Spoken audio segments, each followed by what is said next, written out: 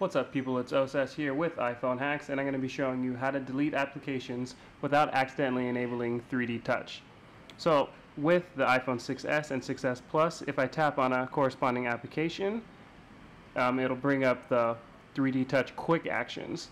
And previously in other iOSs, when you pressed and held, it would bring up the deletion option.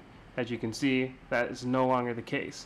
Now instead, we're just going to have to place our finger on it and then it'll bring up the jiggles where you can of course delete your application. Again, there's no pressing needed. Just place and hold and you can now delete applications of course. Just tap on that X, hit delete if you want to delete it.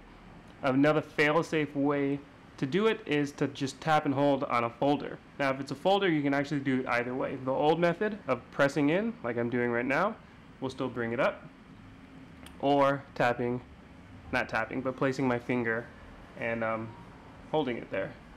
So those are the methods of doing it. Um, if you're used to the other way, then I would just suggest sticking with the folder option because you can actually press and hold that to bring up the deletion.